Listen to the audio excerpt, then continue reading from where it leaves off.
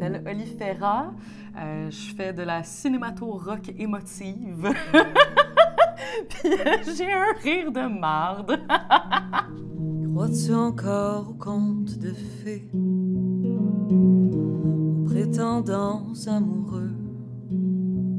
Je suis pas mal euh, dans la guitare électrique. Euh, j'ai reçu ça en cadeau de la vie il y a à peu près un an et demi. Puis depuis, je suis jamais retournée à l'acoustique. J'ai vraiment trouvé mon comble dans un, un univers un peu plus euh, rock alternatif, euh, un peu plus sombre. Puis la guitare électrique, je trouve que ça donne, euh, ça donne des vraiment belles textures que, que moi, ça me permet de pouvoir m'exprimer dessus. Viendras-tu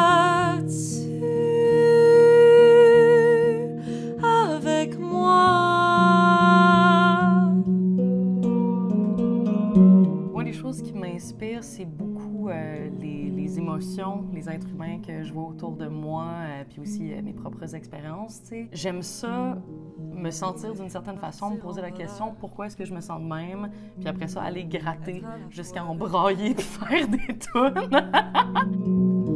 Le désir est souvent révélateur.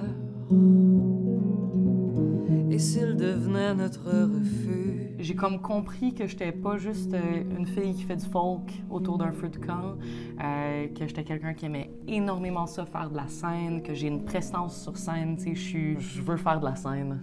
C'est vraiment, euh, c'est ça le but à long terme, puis d'essayer de, m'entourer des gens avec qui que je vais pouvoir faire ça. Ah ouais, embarque vite dans le char, puis je passe te prendre. Je mets le gaz puis les fusils, c'est plus le temps de se faire attendre. Cambriolage réussi si on finit par s'y rendre. L'impossible se vit à deux, c'est pas si dur à comprendre. On est tous des petits humains dégueux et vulnérables à l'intérieur, fait que euh, tant qu'à ça, euh, broyons ensemble puis ayons du fun euh, là-dedans.